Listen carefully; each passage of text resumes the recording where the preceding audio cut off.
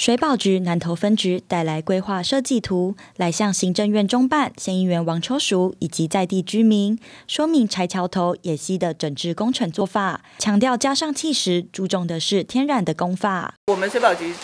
呃，在做这些工程，其实都会考量到安全，当然也要考量到生态。那因为这边的条件是适合的，它有。足够的石头可以让我们做气石，嗯，所以我们在顾问公司它的计算下面，它是安全的，然后我们也符合生态的方式做这样的设计。那之后地主如果有什么问题，就是尽量跟我们的营造或者是我们的建造公司去做一个沟通。台桥头吼，这个洞角这个所在拢是山坡地吼，啊，所以嘛一般嘛落大雨的时候吼，啊，这野溪吼，就水就真大，啊，会当拢会冲刷到咱的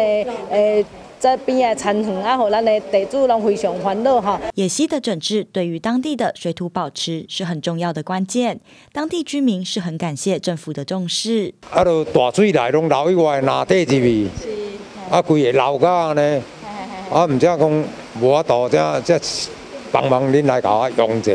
无做会流到规个土地拢流掉的，啊，搁下边搁一个桥伫啊，行去互参个桥拢流去。下面嗰个桥，因正常来有甲讲说，这个桥卡嘛咧要帮伊啊，伊讲要存在，若有有中的时阵要怎做？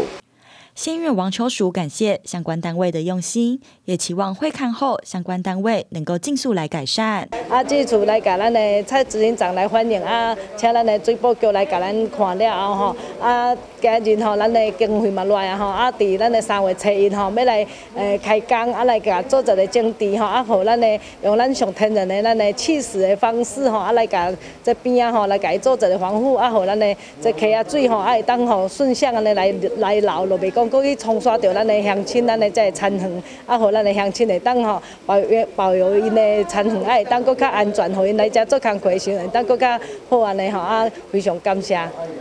期望在会看过后，相关单位能够尽速发包施工，改善地方长久以来的问题。记者邱品义积极采访报道。